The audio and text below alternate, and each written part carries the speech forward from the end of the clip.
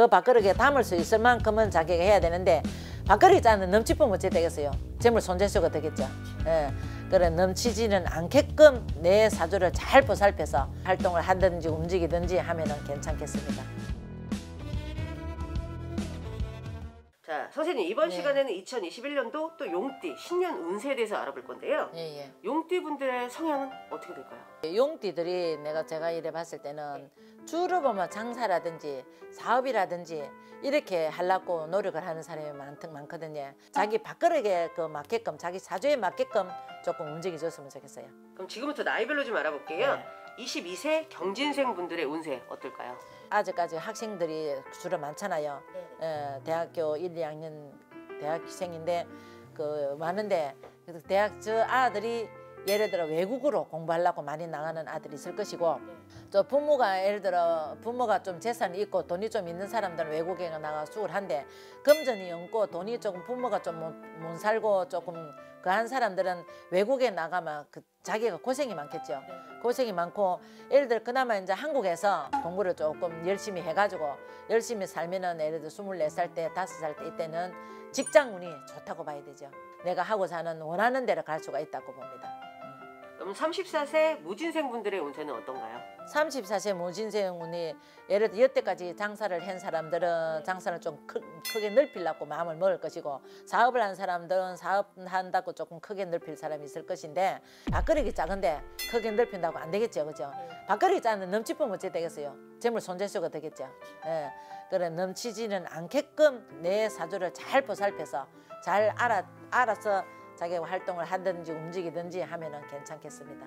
그러면 58세 갑진생 분들 운세 말씀 부탁드릴게요. 58세 갑진생은 조금 자기가 자만하는 게 많습니다. 예를, 예를 들어 조금 내가 사업이 조금 잘 된다 싶으면 자만을 하는 기라 자만을 하고 생각이 없고 어, 생각이 없고 일하다가 보니까 잘 되면 잘 될수록 또 널리 널- 널리 널리 생각을 하시고 해야 되는데 좀 잘 되면 자만을 하는 게 나와요. 그러면은 사업이 실패를 하겠죠. 내가 노력 없이 자 노력을 잘 하다가도 어, 노력을 자기가 손을 놨는 현상이 나오거든요. 그러면은 사업에 조금 실패할 확률이 있으니 갑진생의 갑진생 저 용띠는 올해는 금년에는 조금 참을 조금 참고 참고 참다가 어, 참다가 대성공을 해야 된다고 보거든요. 예. 그러면 이분들이 어떻게 보면 또 자녀도 가지고 계신 분들 있잖아요. 네. 결혼을 또 네. 하셔가지고 이분들 자녀 덕은 자녀 운은 좋아요. 예, 자식 운은 좋아하고 자식 자식이 뭘 해도 되고 저로 결혼할 운세가 있고 자녀들이 움직일 그 나이인데 나이가 성장을 해가지고 움직일 나이인데 저 다 그 자식에 대한 복은 다 좋다고 봐야 됩니다. 예.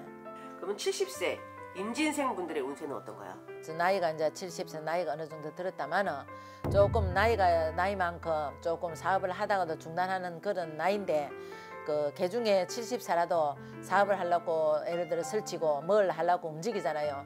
움직이면은 건강을 잃는다고 봐야 돼요. 그러면 내가 좀 나이가 든 만큼 조금 자중을 하시고 하는 업도 조금 자중을 하셔야 되는데 더 하고 싶고 더 움직이고 싶고 이러니까 조금 굉장히 내리막길 섰고 조금 건강에 조금 해치는 경향이 나오니까 조금 그 점을 조금 고려를 해가지고 자제를 해줬으면 좋겠습니다. 그렇죠. 돈이 있어도 네, 건강이 그렇지. 무너져 버리면 그렇지. 소용이 없는 예, 거니까 예, 예. 건강부터 좀 챙기셔야 그래 되겠네요. 건강을 잘 챙겨야 됩니다. 금년에는.